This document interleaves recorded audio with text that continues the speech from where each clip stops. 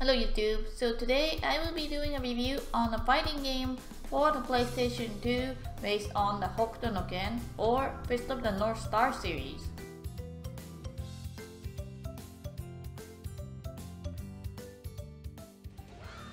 So this game is based on the anime and manga series called Hokuto no Ken that most of you should already be familiar with since it's pretty famous but for those of you who aren't familiar with it, this series is about a character called Kenshiro who goes on a quest to find his fiancée, Yuria, in a Mad Max type world.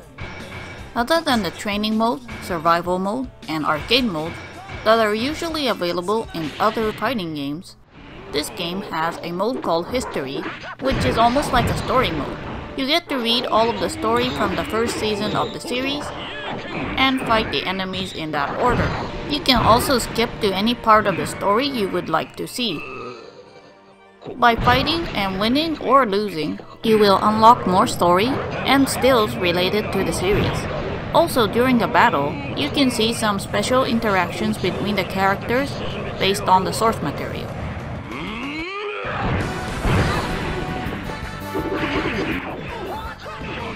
The story of the game is based directly on the original source and no new story has been added.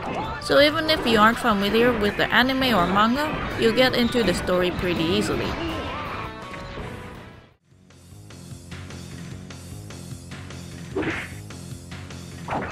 The most important aspect of a fighting game is the gameplay. And the gameplay is pretty similar to Guilty Gear in some aspects since this game is also developed by Arc System Works. So for the basics, you have strong punch, strong kick, weak punch, weak kick, and one boost button. All the characters except one can double jump. They has a special triple jump. And as in many of the other fighting games, you can dash and backstep by inputting forward or back two times quickly. The boost button I mentioned earlier is a homing movement. There are moves you can use as a combo by using the boost button since it allows you to cancel an attack.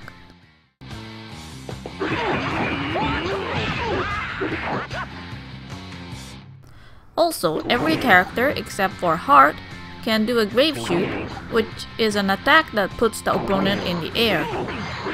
Depending on the direction pushed after this move, you can chain it into a combo.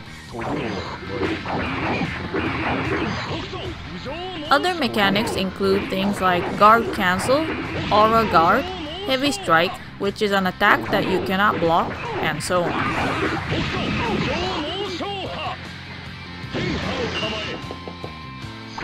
A mechanic completely exclusive and very fitting to this title is the 7 stars gauge. This bar has 7 stars that will be lit up when a round starts, but as you get hit by certain types of moves, the stars will disappear. When the player loses all of the 7 stars, a death star will light up. This allows the opponent to perform a one-hit KO move much like the instant kill moves in Guilty Gear. If the one-hit KO move doesn't land, then you will recover one of the 7 stars.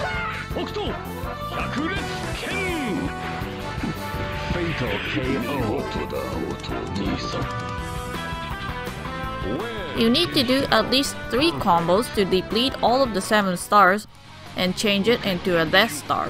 Since there are rules in the game, like you cannot take away more than one star with the same attack in one combo and so on, but there are exceptions with some of the characters that will allow them to take away up to 4 stars in one combo.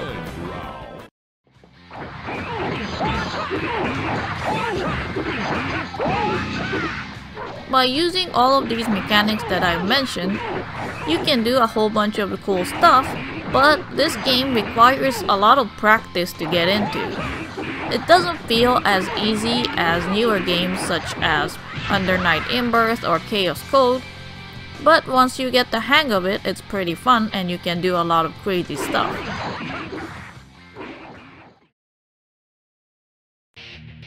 As for the characters, there are 10 playable characters in the game,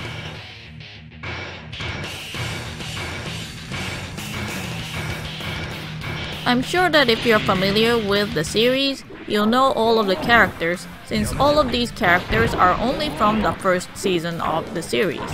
Kenshiro, the main character, has a special move that when it lands, gives the opponent 3 in-game seconds for 20 seconds in real time, and after the timer counts down to 0, the opponent gets KO'd. This move, although seems powerful, is very hard to use, since to start off with, it uses too much resource and it's very hard to land.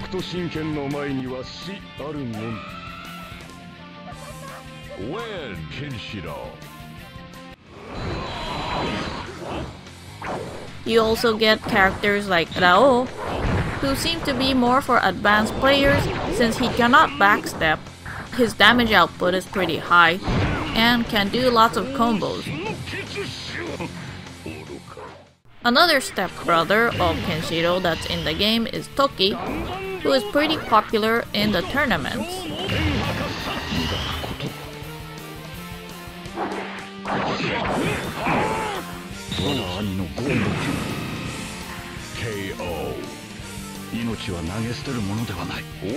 Toki. And also the least loved stepbrother of them all, Jagi, is in the game too. He plays pretty differently from other characters. He's a tricky character to use.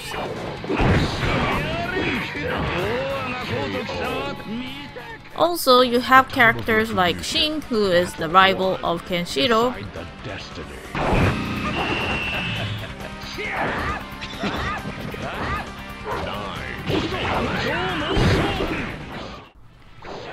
also Rei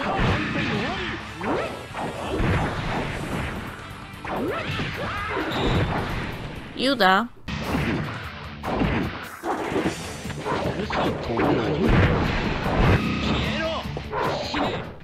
Souther. Hmm. Mr. Heart.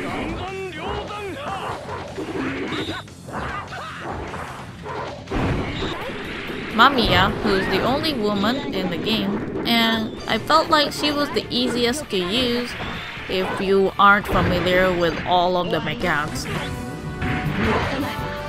KO.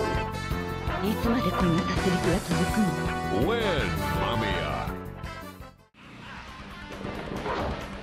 Also, there are different cutscenes depending on the characters you encounter and you use, it's also interesting to look at all of those.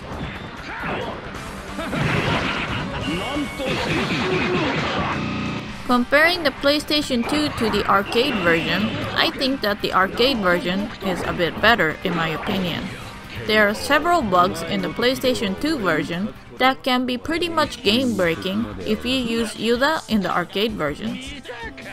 This is because the hitbox for a special move of this character is different, although not intended to be different. I do not know if this is a bug or a glitch, but it is known that the hitbox for this super is moved one step forward. Other than that, some voiceovers have been changed and overall quality of the voices are much lower in the PlayStation 2 version. Also, in the options menu, you can listen to all of the voices of the different characters and the background music of the game. It's kind of great if you want to listen to some manly screams.